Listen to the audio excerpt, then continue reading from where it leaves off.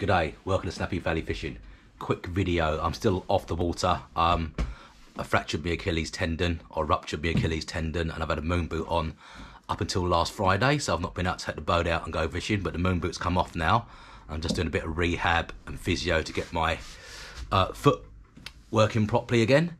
Um, just a quick video on multi-tools and um, what you guys use. Leave comments as to what you guys use, but it seems to the norm that everybody uses Leatherman multi-tools on their boats. Um, I use something different. I'm going to show you why. I'm going to do an unboxing here of the tool, just coming from the US, okay? So I'm just going to unbox this quickly and I'll show you.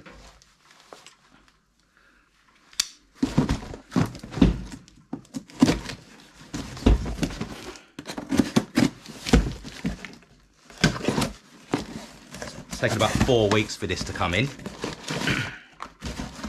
the box. And we have here, a lot of you won't know what these are, but this is a Gerber multi-tool. Okay, now the reason why I choose Gerber multi-tools, again I'll open it up the box so you can see. Get a nice pouch of it, goes on your belt. And that's your multi-tool. So it looks pretty similar to a Leatherman. It's got pliers and whatever. But the beauty of the Gerbers, unlike a Leatherman, is that you flick it with one hand to open your pliers. And they're good to go. And then you have all your various tools in there. Again, this might be a different... I, will show you the reason why I've got this anyway in a minute. So we have a saw. Then when you open these out, they actually lock in place. And you have to release them by pushing this down and to push them back again. So if you're using something in here, you know it's not going to fold back on itself and maybe cause a finger trapment or something else. Um, other tools in there, just a hole. I think that's to put a lanyard on if you want to hang it somewhere. Other one here is your normal can opener. Super sharp. This one here is your Phillips screwdriver. Other side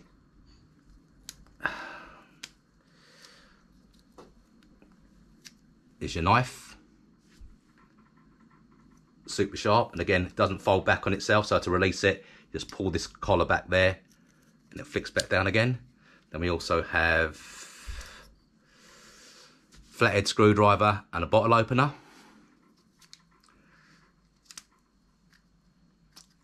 Another flathead screwdriver.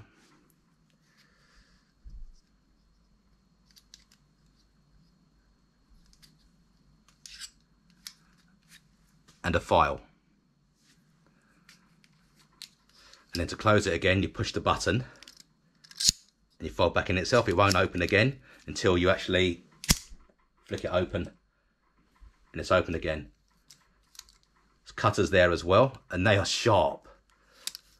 Again, so that's why I use this. There's a little measurement on the side as well.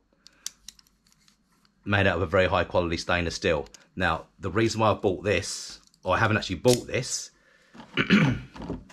this was a warranty replacement. I bought the original back in 1993, I think. So 20 years ago, I bought this. So pouch has changed a bit. The tool hasn't changed, but this one broke. See that? There's a little retention kind of little plate in there which keeps everything in place of a spring and it broke. So I emailed Gerber with the parts, sent him a picture of this and the broken parts and said, can you please uh, supply me with the spring and the little plate that goes in there, blah, blah, blah. There's three items. They couldn't have been very much, maybe 10 bucks, 15 bucks at most. But um, they replied to my email and they said, no problem, sir. We'll just send you a whole new one out. So 20 years of use, and that's still pretty, it's still sharp. It's no rust on it, anything like that and they've replaced it with a brand new one. So really happy with that. And again, one flick, good to go. So it's cool if you're taking it out your pouch. You haven't got to worry about having the other hand, just flick it, pliers are there, good to go. So that's just a quick, um, just some quick information on Gerber. Uh, pretty underestimated. They are very, very huge in America. And again, I've had mine for 20 years and I love it and I will continue to love it and hopefully it serves me for another 20 years. Okay, thanks for watching.